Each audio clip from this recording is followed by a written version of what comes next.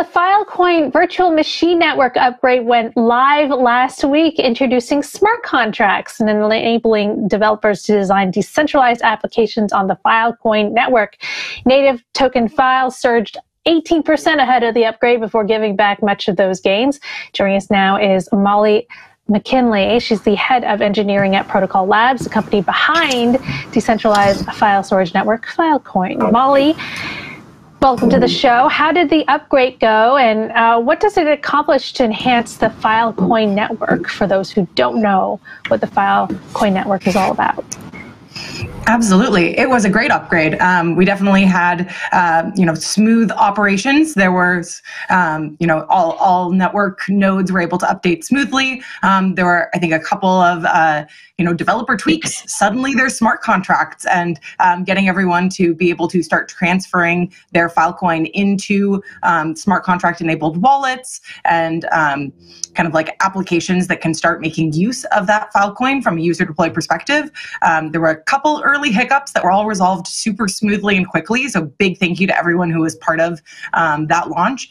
And this is super exciting for the Filecoin ecosystem because uh, for the last two and a half years of Filecoin mainnet, um, we've had uh, mostly just storage providers and folks storing data on the Filecoin network. And that's really what Filecoin um, is, is at the core here. We're trying to be a robust foundation for humanity's most important information, uh, making sure that data can be stored in a decentralized network of storage parties.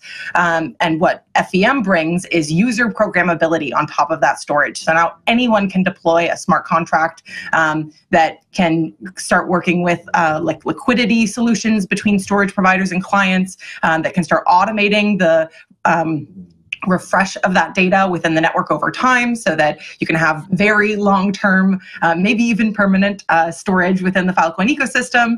Um, and that's a, a, really exciting moment for the whole Filecoin community. Everyone was very, very looking forward to this. Um, and it's been awesome to see kind of the uptick since launch. It's by far exceeded our wildest dreams. We were like, maybe we'll have 100 contracts on the network within the first month. And then we saw 300 contracts on the network within the first day. And so uh, just been really amazing to see the early builders community um, take to the the network and start deploying lots of really exciting applications. We now have auto renewing NFT contracts that are making it so that NFTs stay on Filecoin long term. We have AI generative art that is using compute over the data in Filecoin to create new um, and like AI images for NFTs that then end up stored on Filecoin um, and are utilizing kind of the, the data and, and reimbursing the creators of that data um, to actually push that forward um, and, and have an ethical AI system that actually um, re- recurs value to the original creators when new um, AI images are generated from their work. And so it's just really awesome to see all of these new applications coming into being and deploying on Filecoin. So, uh, if, if, you've been on before and and you've explained Filecoin, but I mean now that especially now that you have smart contracts, can you explain the difference between Filecoin and let's say the Ethereum network? Uh, uh why would somebody use Filecoin versus or even Ethereum? AWS? Totally.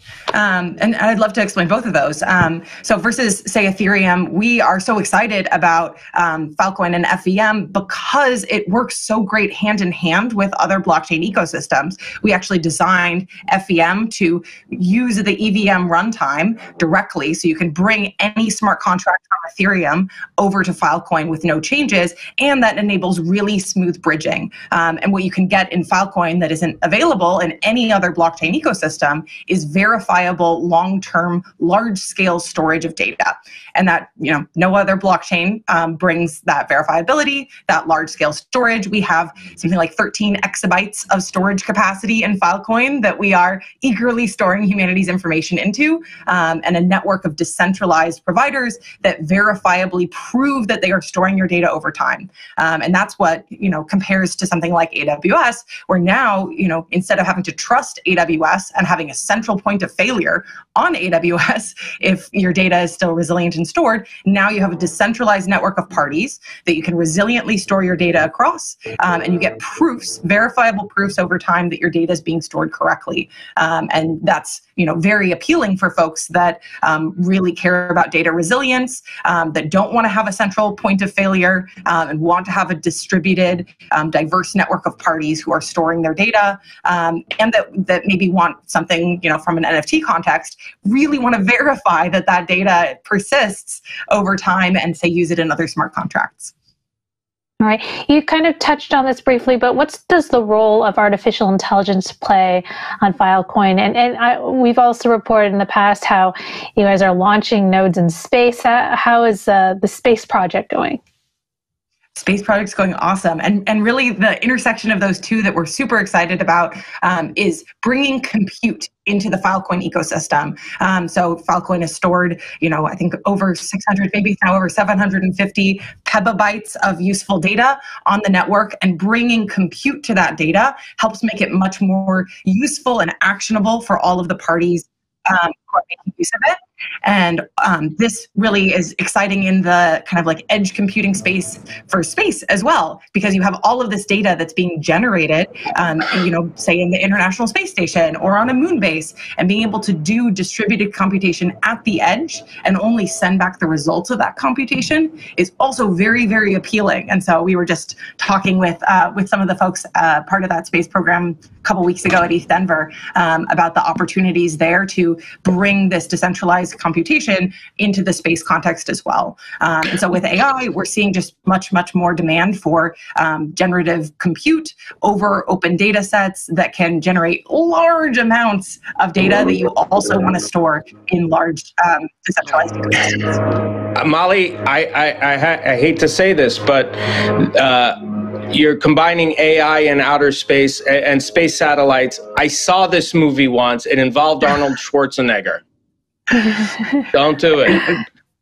I, totally. I uh, am very much here in terms of like, making sure that we don't release the the evil robots on the world, um, and making sure that you know the, the sorts of AI well, compute they have all our data. is not evil. Yeah, I, I don't want um, the apocalypse. Just right, right. not today, not this week. Hopefully, it's just um, you know more too more close. generative, We're too close, valuable too outcomes for us all. Already. All right, Molly, thank you so much for joining us. That was Protocol Labs head of engineering, Molly Mackinlay.